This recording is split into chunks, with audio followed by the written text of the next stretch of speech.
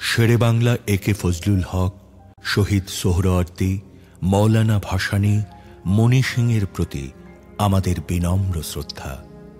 আমরা গভীর শ্রদ্ধা জানাই হাজার বছরের শ্রেষ্ঠ বাঙালি জাতির পিতা বঙ্গবন্ধু শেখ মুজিবুর রহমানকে। আমরা শ্রদ্ধা জানাই প্রবাসী সরকারের প্রধানমন্ত্রী তাজউদ্দিন আহমদকে। আমরা শ্রদ্ধা জানাই একাত্তর পূর্ব ছাত্র নেতাদের, যারা বান্ন, বাষট্টি, ছেষট্টি, ঊনসত্তরে গণ আন্দোলনের সৃষ্টি করে বাঙালি জাতির স্বাধীনতা ও মুক্তির সংগ্রামে বঙ্গবন্ধুর পাশে ছিলেন। আমাদের বিনম্র শ্রদ্ধা রইল তিরিশ লাখ শহীদ ও পাঁচ লক্ষ নির্যাতিত মা বোনের প্রতি। আমরা শ্রদ্ধা জানাই বীর মুক্তিযোদ্ধাদের যারা স্বাধীন বাংলাদেশ সৃষ্টি করতে শহীদ হয়েছেন। আমরা শ্রদ্ধা জানাই লক্ষ লক্ষ মুক্তিযোদ্ধাকে যাদের বীরত্বের কারণে আমরা স্বাধীন বাংলাদেশ সৃষ্টি করতে পেরেছি।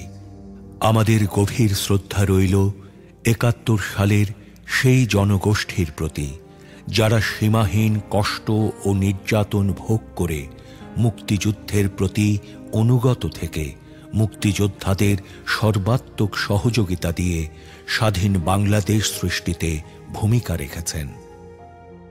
এদের সবার কাছে আমরা ঋণী। হাজার বছরের শ্রেষ্ঠ বাঙালি, জাতির জনক, বঙ্গবন্ধু শেখ মুজিবুর রহমানের কাঙ্ক্ষিত বাঙালি জাতীয়তাবাদী চেতনার বিকাশ, শোষিতের গণতন্ত্র, শোষণমুক্ত, বৈষম্যহীন সমাজ, মানবিক মূল্যবোধ, সামাজিক ন্যায় বিচার সামাজিক অর্থনৈতিক রাজনৈতিক সাম্য প্রতিষ্ঠা করে জনগণকে ক্ষমতার প্রকৃত মালিক করে আমরা এদের ঋণ শোধ করতে পারি। আসুন আমরা আমাদের পূর্বসূরীদের ত্যাগকে স্মরণ করে তাদের নির্দেশিত পথে দেশকে এগিয়ে নিই। জয় বাংলা। আপনার নাম? জয়নুদ্দিন। আপনার আব্বার নাম? জয়নুদ্দিন মালিক। আমার নাম হলো রহিম এটা স্থায়ী ঠিকানা আমাদের এটা কিশোরপুর।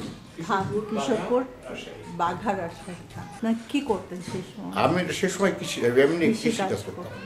সে সময় আপনার সত্তর আঠারো বছর বয়স হবে আমরা আমাদেরকে এখানে রহিমুদ্দিন মেম্বার বেটা লোক ছিল। কমিটি ও আমাকে ডাকলো। ডাকি বলল? আলাদা করে যেতে হবে। যে আমরা চিন্তা করলাম যে এখানে তারা আমাদের বসবাস নেই। রাত্রে আলোচনা হয়েছে আমরা সকালবেলা একটু পার হয়ে চলে গেছি। যেই প্রথমে ভর্তি আপনার শেখপাড়া ক্যাম্পে শেখপাড়া ক্যাম্পে আমাদেরকে নুরিশা গাড়িতে ভর্তি করে দিল। আমরা এখানে মেলা লোক ছিলাম। ওখানে ভর্তি হওয়ার পরে ওখান থেকে আমরা চলে গেলাম আপনার পানি পেয়ার ক্যাম্পে। পানি পেয়ার ক্যাম্প থেকে আমরা চলে গেলাম আপনার শিলিগুড়ি। কারণ মুখার্জি।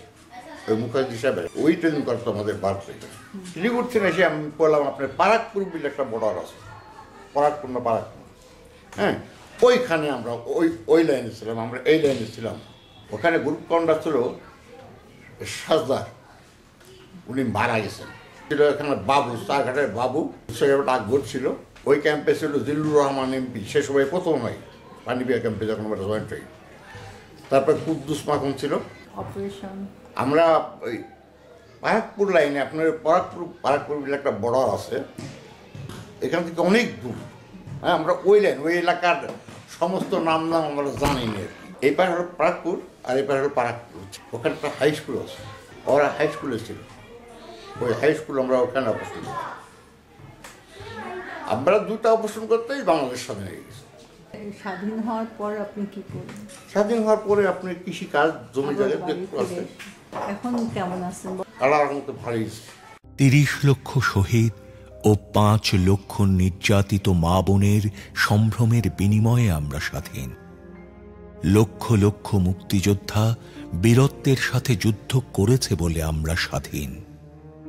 হাজার হাজার যোদ্ধা বীরত্বের সাথে যুদ্ধ করে শহীদ হয়েছে বলে আমরা স্বাধীন। কোটি কোটি লোক আমাদের সমর্থন করতে গিয়ে অবর্ণনীয় দুঃখ কষ্ট সয়েছে বলেই আমরা স্বাধীন।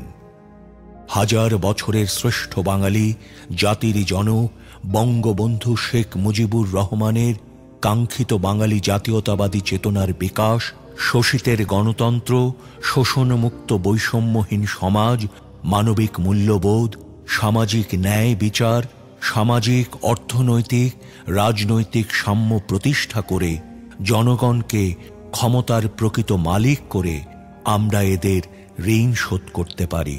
আসুন, আমরা আমাদের পূর্বসূরিদের ত্যাগকে স্মরণ করে তাদের নির্দেশিত পথে দেশকে এগিয়ে নেই। জয় বাংলা।